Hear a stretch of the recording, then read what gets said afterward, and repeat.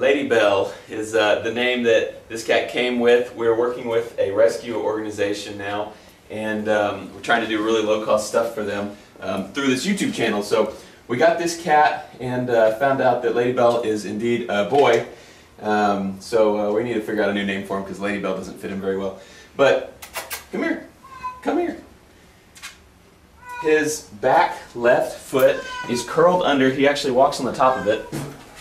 He's a very friendly cat. You can kind of see how he walks on the top of his foot and it's all raw, scabs all on it because that's where he puts his weight. Right, bud? But watch him walk. He just, he can't flip it up and use it. And we don't know what happened to him. He's been kind of bouncing around shelters for about three months. And uh, and no one really knows you know the history from before that.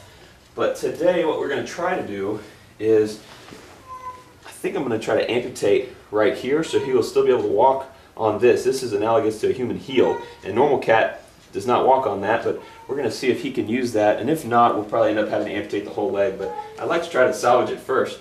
So um, he's going to go through a little surgery today and see if we can Fix him up. All right, here's a kitty. You can see where the kitty puts all of his weight. He walks right on the top of his foot. We have the, the nails in here wrapped up, so I'm not touching them. But he walks right on the top of his foot. And what I'm going to try to do, they have a, a pad right here where they're supposed to walk. Um, so I'm going to try to, I'm going to cut off the toes and see if I can move that pad to where it'll sit right there and he can kind of use this as a peg leg. We just finished surgery on this guy. Um, here is the pad. Basically all we did, we just took off the toes at the digits. So you know, this is a hand, this is a front leg, obviously, but took them off right there. So he still has these bones. These in the foot are called metatarsal bones. We just took off the digits, and this was the uh, metatarsal pad, and I just pulled it up um, around here. So I'm hoping this is what he'll step on, and uh, he hopefully can use this as a normal foot. I'm going to wrap this thing up and um, hopefully let it heal without any of these stitches coming out. And uh, we'll just see how he does when he wakes up and see how he walks on it. Alright, it's been two weeks since surgery and you can see it doesn't look um, like we'd love it to look, but half of it, this half over here on the inside, has healed down.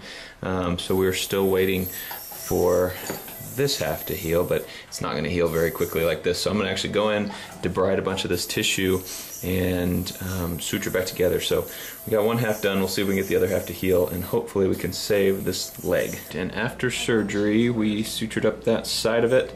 And uh, the problem with um, these kind of things is you worry about too much tension being on there and ripping through the skin, busting those sutures. So I put a bunch of sutures in there, and I did several tension relieving sutures. So We'll see if we can get this side to stick down.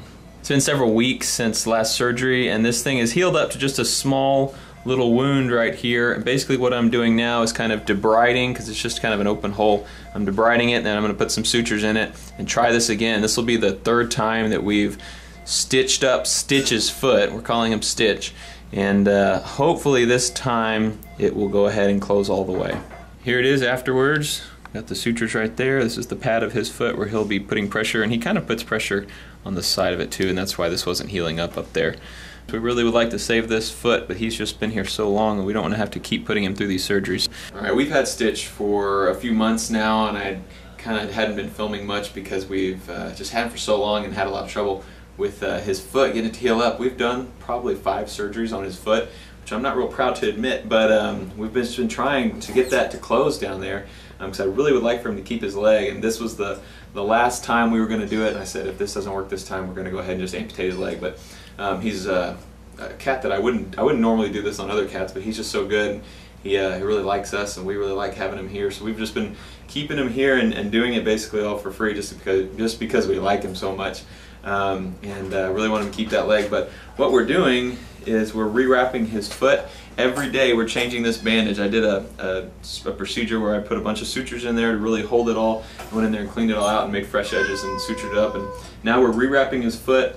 I'm making a little kind of boxing glove pad full of neosporin and I'm, I'm putting that on there. Got his cat hair all in here putting that on there every day um, to make sure it doesn't get infected. We've tried doing this before where we didn't have the big pad and he just walks right on that incision so it keeps opening it up. We tried leaving it open so that it can dry and not get infected because we had trouble with infections before.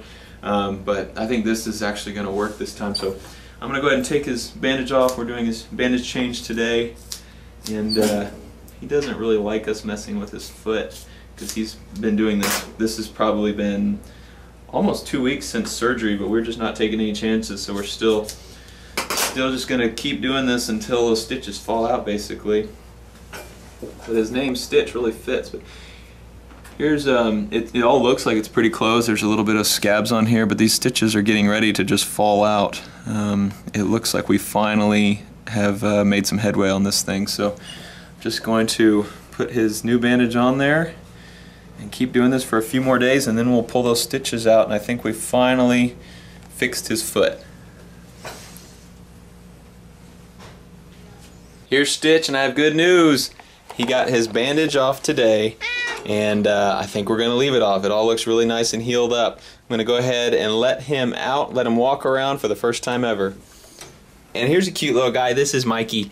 Mikey is a vet ranch cat also, little kitten, and he has a broken pelvis and we're just cage resting him, letting him heal. So that video will be coming in the future, but let's go play with Stitch. So what Stitch does now that he used to not do is he actually lifts that foot off the ground whenever he walks. He doesn't scoot it on the ground like he used to. He used to just drag those knuckles across. Now he picks up that peg and places it down like that. So it's not going to wear a hole in his foot like it was before.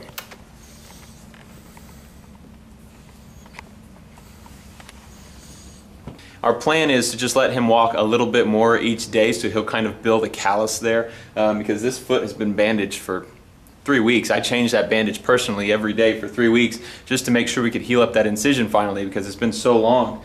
Um, so we're just going to kind of let him go slowly on it and hopefully build up a callus to where he has a really nice paw pad at the end of that foot and walks around like a normal cat. That would be ideal. All right, here's the bottom here's the bottom of his foot. There is one little red mark where he licked it um, kind of chewed on it today. He pulled the last little scab off but it's really superficial. It doesn't go all the way through the skin like those wounds were doing before so it, will heal up really quickly.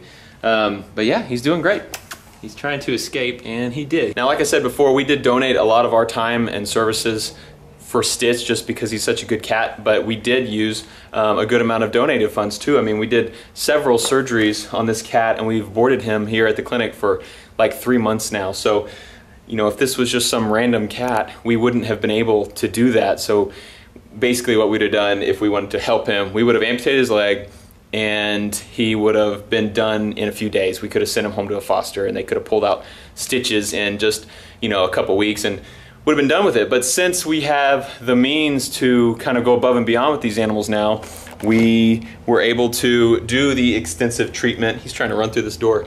We were able to do the extensive treatment and save this leg, which is pretty cool. It's pretty cool that we're able to do that. So look at this boy. He's smart. Although that's where he gets more surgery. I don't know why he's going this way.